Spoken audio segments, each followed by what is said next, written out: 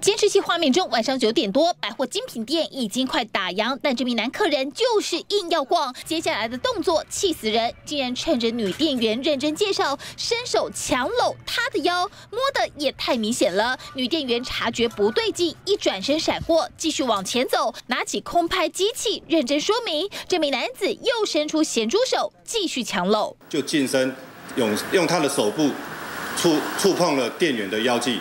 那这个部分让店员有觉得有遭到性骚扰的这个疑虑，然后向本所来报案。仔细看，男客人贴的超近，黏着女店员，左手强搂着腰不肯放。女店员已经吓得不知如何是好。这是台南新营一间精品百货行，当时店外铁门拉下一半，女店员也要下班了，竟然被强搂二郎偷袭得逞。即将打烊的时候，进去里面佯装要购物，那利用店员。近身向他介绍商品的时候，就近身，他是觉得嫌疑人是碰触他他的药剂。店家事后将画面抛到脸书，网友纷纷留言痛骂这偷摸狼实在好恶劣。当事人已经报警，警方表示这行为明显涉及骚扰，会尽快揪出。